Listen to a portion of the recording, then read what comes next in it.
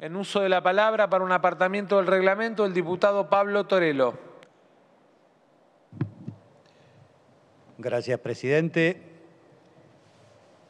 Primero, volvamos a las presenciales ya porque cada vez tenemos más problemas.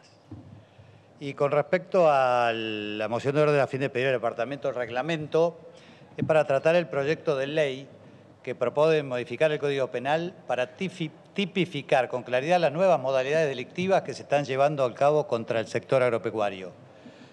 Este proyecto tramita bajo el número 4193 de 2020 y fue presentado por el diputado Atilio Benedetti y acompañado por 29 diputados de nuestro interbloque. Es un proyecto que necesitamos eh, urgentemente.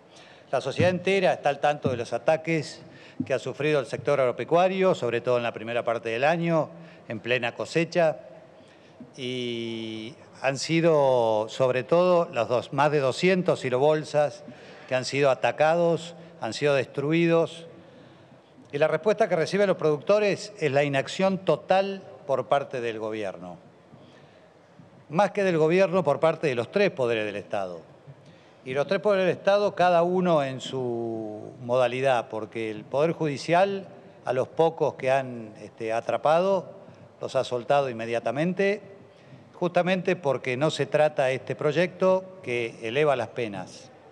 El Poder Ejecutivo Nacional simula interés, creando comisiones. Ya lo dijo algún político nuestro, si querés que no pase nada, crea una comisión el gobierno está siguiendo al pie de la letra esto y este proyecto duerme el sueño de los justos.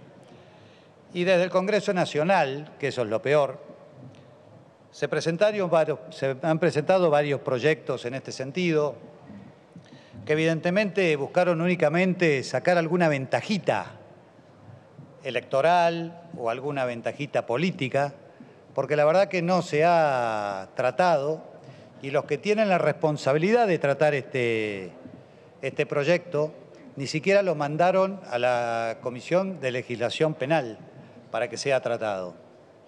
Indudablemente, el propio gobierno, en una actitud, desde mi punto de vista, irracional e inentendible, este, espera desesperadamente la cosecha, pero mientras espera la cosecha no actúa en cuidar esa cosecha.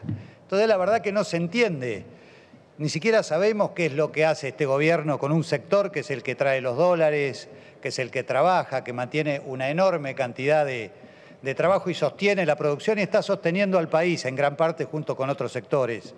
Ha sido declarado esencial, sigue trabajando, sigue invirtiendo, sigue produciendo.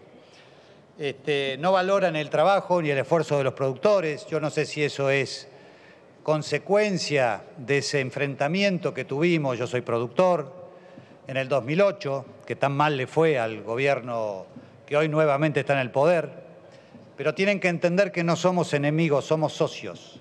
Y para eso necesitamos leyes. Y por ejemplo, no es solamente este proyecto, sino que también en la Comisión de Agricultura hemos pedido que salgan una serie de proyectos que son proyectos muy necesarios para la producción, para el país, que son los proyectos de fertilizantes, de warrants y, este, y de semillas. Y la verdad que ni siquiera han sido puestos en tratamiento, pero sí se ha puesto en tratamiento proyectos que el sector productivo no quiere, como el Observatorio de Agroquímicos, el cual ya es una superposición, es una superposición de funciones, porque ya tenemos el SENASA, el INTA y el CONICET para que haga eso. Y la verdad que en ese sentido, nosotros creemos que no, que no deberían existir.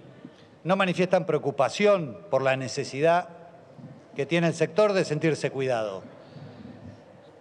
Y la verdad que, señor presidente, lo que queremos decirles que como, última, como último tema, también para ver el desinterés del sector, que tanto hablaron de la reparación que le iban a dar a los pequeños productores, que subieron las retenciones a todo el complejo productor de soja, eh, y eran 300 millones de dólares que le iban a, devolver al, Todavía estoy en tiempo, presidente. Gracias. Eh, le iban a devolver 300 millones de dólares, que equivalen hoy a 24 mil millones de pesos.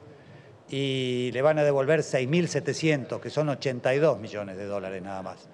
Así que, presidente, le agradezco y espero que puedan acompañar este proyecto que tanto se necesita para cuidar a nuestros productores. Gracias, presidente. Muchas gracias, diputado Torelo.